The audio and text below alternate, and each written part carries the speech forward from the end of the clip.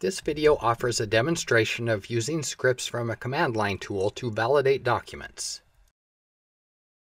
The validate script is located in the Oxygen installation directory inside the scripts folder along with the other supported scripts. For the purposes of this demonstration, I've added a folder named work-sbc inside that scripts folder and it contains the sample files I'll use. In my command line window, I've already navigated to the scripts folder. The script I'm demonstrating is validate, and I can use the help option to display details about the script and its supported options. The first option is the only mandatory one. It specifies the path to the file or directory to validate. And then you can see that there are various optional options and there's some additional notes to help you with some of them. I'll start by using the script in its most simple form. I only specified the path to a directory within my sample folder. I didn't specify a schema to validate against or a validation scenario to apply and no optional arguments. It simply instructs the engine to use the default settings to validate all the files in the specified folder. After I execute the command and after the validation completes, you see that a report is displayed in the console. I'll scroll up and then back down to show you that it lists details for each problem, including information about the file, the schema, scenario name, the type of document, description of the problem, and more. That report was displayed in the default text format, but you can use the RFT option to display the report in XML, JSON, or HTML format. I'll choose XML for the next example, and you can see that the report is now in XML format without indentation. Of course, it would be easier to read and work with if it were opened in a specialized XML editor. So instead of displaying it in the console, I'll use the RF option to send the results to an XML file located in a specified path.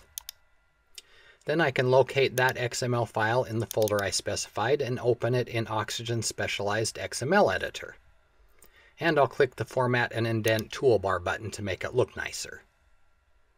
To make the report even easier to read, using the HTML format might be better. So I'll specify HTML for the RFT option and the path for an HTML file using the RF option. Then I'll locate that HTML file and open it in my default browser. There is a summary at the beginning then each validation problem that was found is listed, grouped by file, with information such as the description of the problem, its severity, the name of the validation engine, the scenario name, and the location of the problem within the validated document.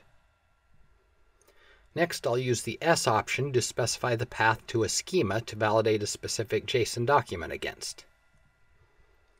I'll open this report in the browser it found four problems, and this time you see that it lists the schema file that was used in the validation.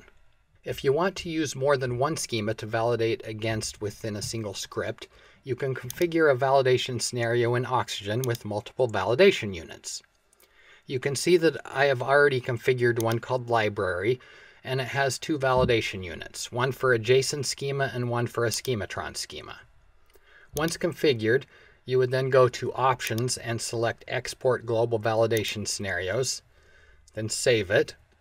Then you can reference the exported scenarios file in the script.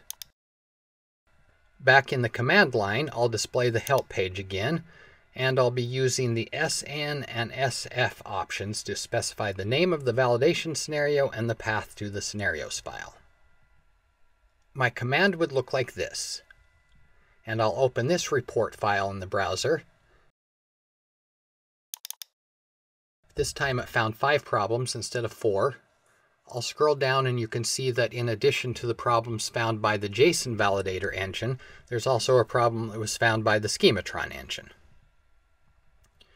You can also use the SN option without specifying a scenarios file using the SF option. This particular use case is explained in the notes in the help page. In this case, it searches through the validation scenarios defined in the associations made in Oxygen's document type association dialog box. For example, if I want to validate DITA files by applying the default validation scenario defined for that type of document, I would specify DITA using the SN option without using the SF option. I'll open that report in the browser and you can see that the engine name is DITA validation, the scenario name is DITA, and the document type is DITA 2.x. Along with Oxygen's default scenarios associated through the document type associations, you can also add custom ones that you can use in the script. In this next example of a command, I specify three scenarios. The default DITA scenario, along with two custom ones named data.sch and DITA.tab, that would be associated with the DITA file type in the doc type associations dialog box. I won't execute the command because those associations don't exist. I'm just showing you as an example. But it would apply all three scenarios to validate the files in the specified folder. Conversely, you can specify the path to a validation scenarios file using the SF option and not use an SN option to specify the scenario name. So in my next example, I specify a DITA file named main.dita as the file to validate, and I use the SF option to specify the path to a project file with an XPR file extension. Now, if validation scenario associations for that specified file are found in the XPR file, then those scenarios are applied. Otherwise, the validation first considers the schema associations declared directly in the file, if any exist, or default oxygen validation scenarios are applied in accordance with the document type. I'll open the resulting report in the browser, and you can see the name of the scenario that was applied and the schema that was validated against. I'll go back to the help page because I want to point out that there are some filtering options that can be applied. The IF option can be used to only validate the files that match the specified pattern, the EF option can be used to exclude files that match the specified pattern, and the ED option can be used to exclude subdirectories that match the specified pattern. So I'll enter a command that validates a specific JSON file against a specific JSON schema file. I'll open the report in the browser. Note that the first problem is reported for a JSON file that contains a draft string. If I scroll down, you can see that the last reported issue is due to the fact that a schematron file was validated against a JSON schema file, which doesn't make much sense. So I'll use a similar command, but this time I'll include some filtering options.